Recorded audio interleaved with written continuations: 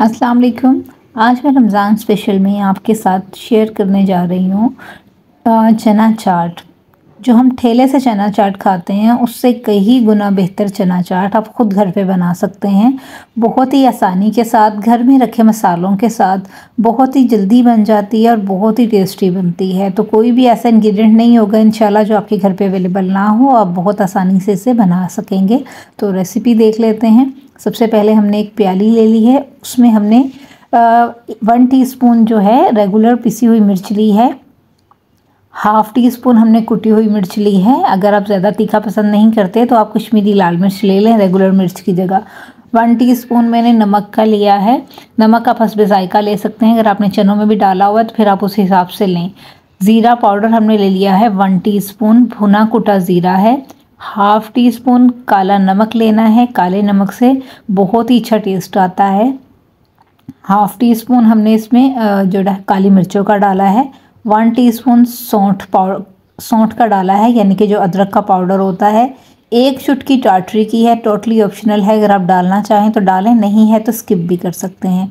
तो यहाँ पर मैंने इसमें दो से तीन चम्मच पानी के डाल के इसको मिक्स कर लेंगे। इसका एक जो है ना अच्छा सा, थिक सा मिक्सचर बना लेंगे। और मैंने यहाँ पर इमली का पल्प लिया है। चार से पाँच इमली की गिटके जो है ना, वो मैंने पानी में भिगो दी हैं। सबसे पहले हमने एक फ्राई पैन लेना है, मीडियम टू लो फ्लेम पे उसको रखेंगे और इसमें तीन से चार चम्मच ऑयल के शामिल कर देंगे। ऑयल जब हमारा गर्म हो जाएगा तो इसमें जो हमने पेस्ट बनाई थी अपने मसालों की, वो शामिल कर देंगे और इसको अच्छे से चलाएँगे तीन से चार मिनट के लिए, ठीक है? बिल्कुल स्लो फ्लेम आपने रखना है, मसालों को जलाना नहीं है, बस दो से तीन मिनट के लिए आपने अच्छा सा इसको जो है भूनना है। तो जब पानी हमारा ड्राई होना शुरू हो जाएगा, भुनाई पर आ जाएँगे मसाले तो हम इस पर चने शामिल कर देंगे। चने मैंने यहाँ पर एक पाव इस्तेमाल किए हैं। आपको पता है रमज़ान में चने इस्तेमाल होते रहते हैं तो मैंने बॉयल आधा किलो कर लिया है, लेकिन इसमें एक पाव डाले हैं। तो यहाँ पर मुझे लगा है पानी बिल्कुल ड्राई हो गया तो मैंने तीन चार चम्मच पानी के फिर शामिल कर दिए हैं। क्योंकि जब ये थोड़ा सा जूसी होगा तो सारे मसाले जो है ना, हमारे बड़े अच्छे जो है ना, इस पर कोड हो जाएँगे। तो यहाँ पर अब हमने इसमें इमली का पल्प जो था, वो शामिल कर दिया है और इसको अच्छे से चलाएँगे सारे मसालों के साथ।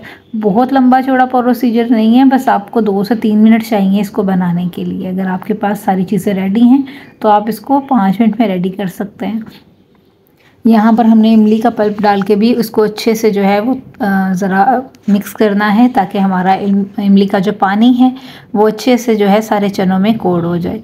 और बहुत ही अच्छा ज़बरदस्त फ्लेवर आएगा। अलग से आपको किसी भी तरह की कोई चटनी बनाकर डालने की ज़रूरत नहीं है। बगैर किसी चटनी डाले आप इसको बहुत मज़ेदार घर पर बना सकते हैं। तो वही मेथड आज मैं आपके साथ शेयर कर रही हूँ, जो आप बाहर से खाते हैं, जो एक खटास सी आ रही होती है, वो भी इंशाल्लाह आपको मिलेगी और तीखापन भी आपको मिलेगा और बहुत फ्लेवरफुल इंशाल्लाह बनेंगे।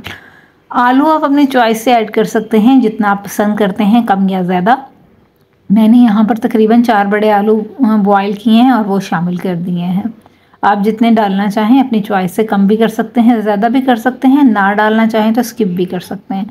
तो अच्छे से हमने अब इस मिक्सचर को जो है ना ठंडे होने देना है। हमारा देख लें आप, मसाला सारा अच्छे से कोड हो गया है। तो वेजिटेबल्स आप अपनी चॉइस से ले लें, मैं यहाँ पर डाल रही हूँ जी। प्याज को मैंने फ़ाइन चॉप कर लिया है। प्याज ले ली है, मैंने खीरे डालूँगी इसमें। टमाटर डालूँगी, खीरे भी जो है मैं इसको फ़ाइन चॉप कर लूँगी। आपको जो चीज़ अच्छी लगती है, आप उसकी क्वांटिटी बढ़ा सकते हैं, जो पसंद नहीं है, उसको आप स्किप भी कर सकते हैं और इसके अलावा मज़ीद जो वेजिटेबल्स आपको पसंद हैं, बंद गोभी वगैरह, वो भी ऐड कर सकते हैं। तो यहाँ पर मैंने टमाटर को भी फाइन चॉप कर लिया है। सब्ज़ मिर्चें दो से तीन अद बारीक काट के डालूँगी।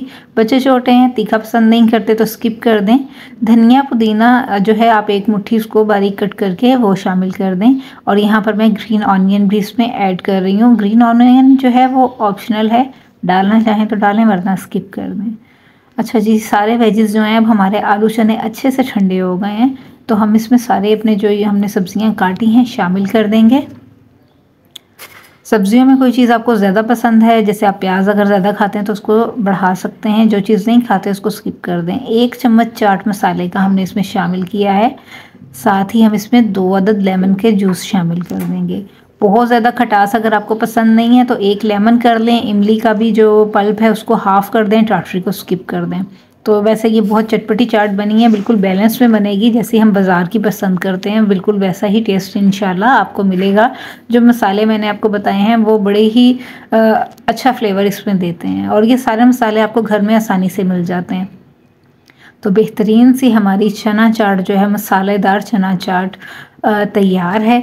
बस इसको ख़ास कुछ नहीं करना आपने यही सारे इन्ग्रीडियंट्स हैं लास्ट में आप अपनी मर्ज़ी से कोई भी इस पर गार्निशिंग कर सकते हैं आप अपनी चॉइस से, और बस ये आसान सी चना चाट जो है वो हमारी रेडी है। वीडियो पसंद आए तो तो हमें याद रखिएगा। अल्लाह हाफिज़।